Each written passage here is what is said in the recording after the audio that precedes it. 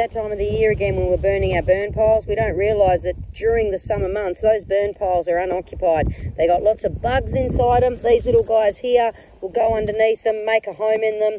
There's nobody disturbing them the whole summer, so they think, you beauty, we've got a great house to live in. Come winter time, we go and set fire to those burn piles, not realising that it's so cold, these little ectothermic creatures aren't going to move, and then we set fire to them. We actually burn them alive, and I do get a couple that come into care. Some of them can't be saved, and sadly, burns are a death sentence to these little fellas. If you are going to burn, move your burn pile. I know it's double handling, I know it's a pain in the butt, but if you love these little creatures and respect and appreciate what they do in your garden, then you're going to bloody well do it, aren't you? All right, mate, off you go.